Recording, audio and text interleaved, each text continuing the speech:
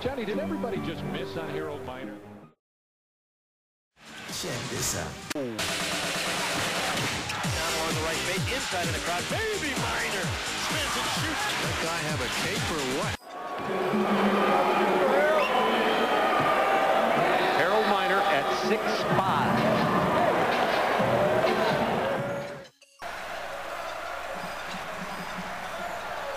Boy, change direction by Matkins to the basket. Miner, what a play. What a crossover dribble by Miner.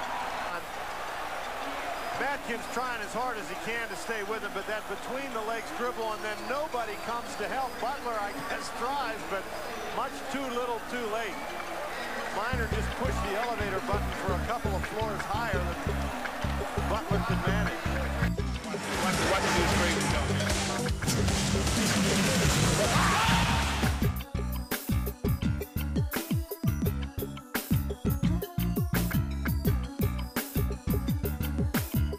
Watch Michael Jordan.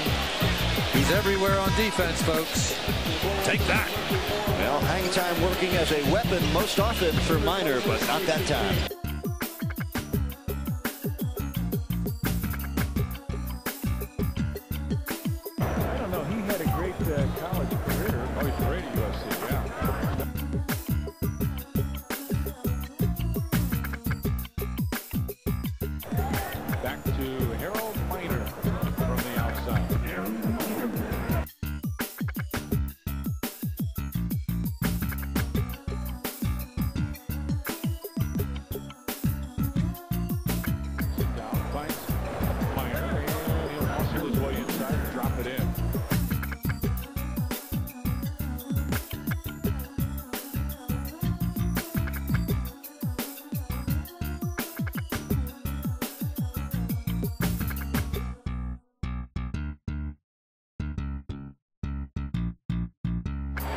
He won the NBA Slam Dunk Championship as a rookie. Now he's trying to become only the third player ever to win it twice. From the Miami Heat, Harold Miner. Next up is the champion from two years ago, Harold Miner from the Miami Heat, and he was only one of four rookies to win the Slam Dunk Championship. A nice routine out of Harold Miner. I, I think you're going to see some, some, some sweet dunks here.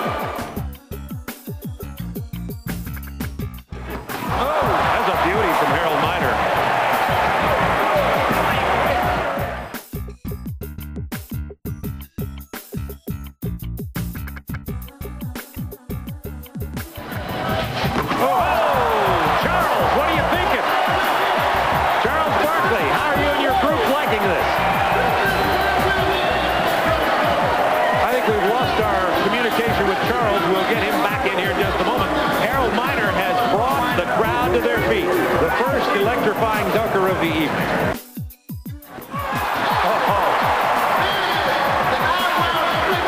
I tell you what, uh, he getting these guys excited. This guy jumps with awesome power.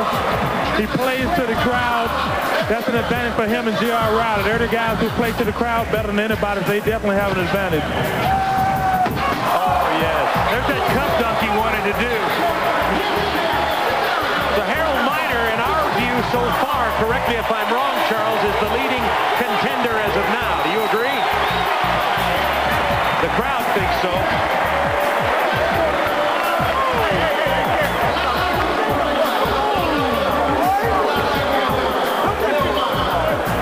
So Harold Miner brought the crowd to their feet so far.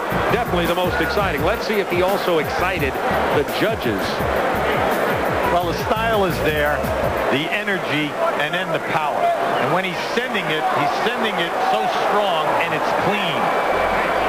His eyes were almost to the rim when he dunked that ball. Look at the guys. Yeah. Gary Payton and Mutombo. Mutombo would go, not in my house. With that. How about this? 49.2. Our best score of the night for Harold Miner. He was the 93 slam dunk champ. So Harold Miner has to beat 34 to become only the third two-time champion in the slam dunk competition history. Michael Jordan and Dominique Wilkins won it twice each.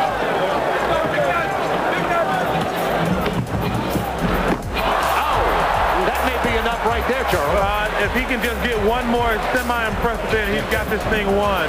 But just look, he just dunks with so much power. Then them kind you can't try to block right there. Maybe it's the shoes, Charles. Oh, no, they're not my shoes. Scottie Pippen looking on. It looks like Harold Miner's going to walk away with his slam dunk championship. He's already hit two. Oh, yes. This guy is so explosive. Is Harold Miner. No wonder he's smiling so much from Miami, who has won for the second time. And tonight, no question, Niner was Finer, the 1995 Slam Dunk champion. We'll be back to talk to Harold Arena, where Harold Miner has become the third two-time champion, joining Michael Jordan and Dominique Wilkins to win this contest at least two times. And let's go now to look at the trophy presentation from, of all people, Julius Erving, who really set the standard for how to dunk a basketball. And it's been a long way down since the great dunks of Julius Erving, that's for sure. Let's go to Craig Sager. Well, Harold, you had this trophy two years ago. Injuries, you couldn't defend your title, but you got it back. Talk about tonight's competition, obviously the music and the different rule changes. Well, first of all, I want to thank God for, for giving me the, the athletic ability to come out here and do what I did. Um, you know, some great competition. JR is, you know, one of the one of the greatest athletes that I've ever seen, and uh, you know, to be out here and uh, you know and compete with guys like that is very very rewarding for me. Um, hopefully, I can just build upon this now. What does this do for the Miami Heat? Your teammate, Glen Rice, won the long-distance shootout. You come in and win the slam dunk. Well, I heard Glen in the background saying uh, it was a heat wave in here. You know, we took the trophy, so, you know, it was very good. It's very good for the organization. One of anything the young guns like to do is dunk. Like my man here.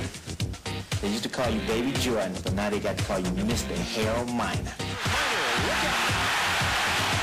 When I get out there, I just like to have fun. I just like to release a lot of energy, so I like to slow it down. I heard that. I heard that. well, let's check in on some of these guys out.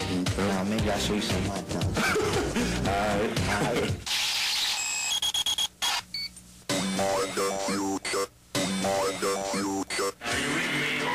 I love to go to the basket. I love to get inside, and but you have to finish it with authority.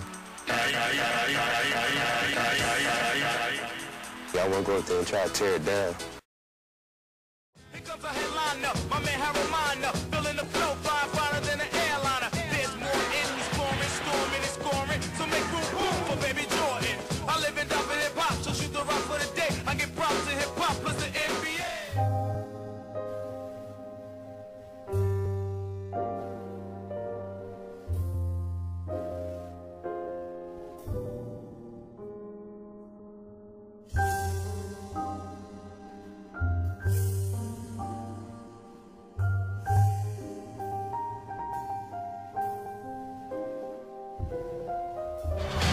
Effect after you do it, that's everything, you know, in terms of getting the, the crowd into it.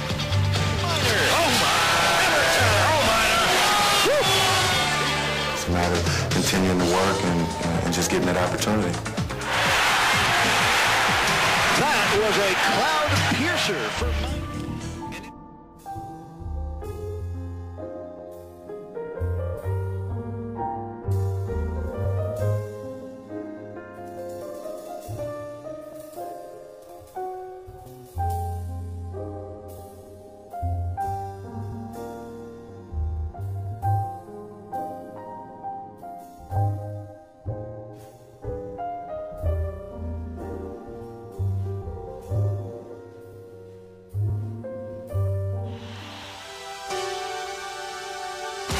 The next year, the contest would move to Utah and find a new favorite in a six foot four inch rookie guard.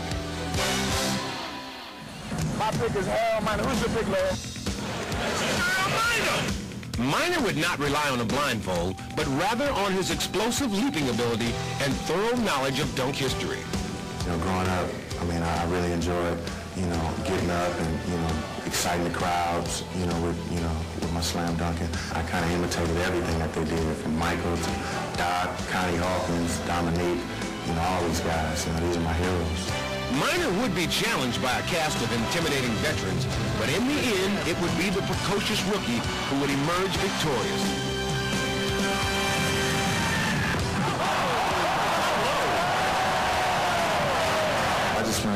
Trying to focus on, on, on what I had to do, doing what came naturally, and getting up, you know, just getting loose and kind of feeding off the, uh, the adrenaline and the, and the crowd.